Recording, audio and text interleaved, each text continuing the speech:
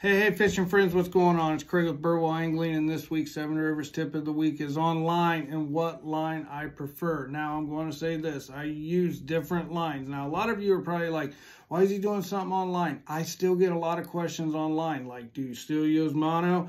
Fluorocarbon's hard to handle. When do I use braid? Hopefully, I can answer a few of those right now. So, the first line that I use is the Daiwa Samurai Fluorocarbon. This line is spectacular. It's awesome. I can't say enough about it. This is not a sponsored plug, so when you see 120 bones on there, that came from your boy, 120 bones. All these lines I'm about to show you are lines that I depend on day in and day out out there on the tournament trail or just fun fishing in general. So like I said, the first line, Daiwa fluorocarbon, Samurai fluorocarbon, is phenomenal. All the way from 6 to 25 pound test. It doesn't matter the technique. This always gets it done. I do not use fluorocarbon on throwing a frog, maybe even like a spook, but 95% of the other techniques, I always use fluorocarbon. Second line I use, this will save you a few bucks, Runkle Power Braid. Super cheap line, awesome line though. It gets the job done. 50, 60 pound test is all I use in the Runkle product, but it's just a spectacular line. I really like it. Frog and flip and pitch and heavy cover, things like that. It really gets it done. Now,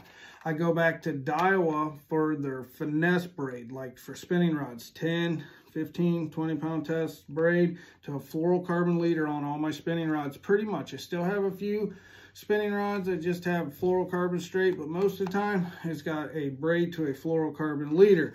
Now, I will do a bigger braid to a fluorocarbon leader as well, depending on how clear the water is that I'm flipping or pitching or how pressured the fish are. Third and final line I use, monofilament. Guys, gals, I still use mono. A lot of the old timers still use mono. 12 pound test, Stren clear blue. Gets the job done. It just catches fish. But in the colder months, I really like the mono.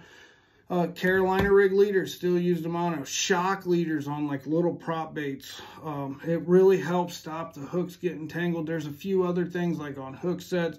When you're fishing a big braid and you put a mono leader on it and put a little like devil's horse or something on it, having that shock resistance nice. You just kind of reel into them. You're not pulling those smaller hooks. So guys, gals, this is the lines that I use. These are the lines I count on. So if you have any questions, shoot me a message. There's a lot of good line out there. But like I always say, I hope this tip helps. Until next time, good fishing. I'm out.